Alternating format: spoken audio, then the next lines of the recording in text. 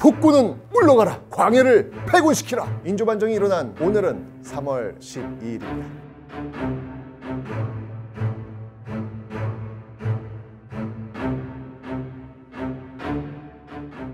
이 반정은 실정을 하는 왕을 폐위시키고 이 새로 왕을 세우는 일을 말합니다. 인조반정의 명분은 무엇이었을까요? 이 중립적 외교를 펼쳐 이 임진왜란 당시 이 명나라에 대한 은혜를 잊고 오랑캐 후금과 친하게 지냈다. 의리도 모르는 이 배신자 배신자 배신자 프레이.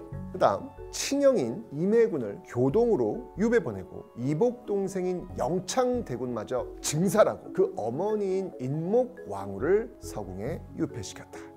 이 어머니를 유폐시키고 동생을 죽였다는 폐모 살제의 폐륜 프레임. 자 이런 배신자 폐륜범 프레임을 통해 광해군은 축출돼서 강화도를 거쳐 제주도로 유배를 가 그곳에서 사망합니다. 그참 이게 우연이야 이게 우연이겠죠. 네. 수백 년이 흐른 2004년 3월 12일 오늘 뭐 물론 이제 음력과 양력의 차이는 있습니다만 어쨌건 고 노무현 대통령 탄핵 소추안이 국회를 통과한 날이기도 합니다. 자 어쨌건 이 인조 반정은 과연 조선의 모습을 어떻게 바꿔놓았을까요? 중종 반정에 이은 두 번째 반정 조선의 인조 반정이었습니다.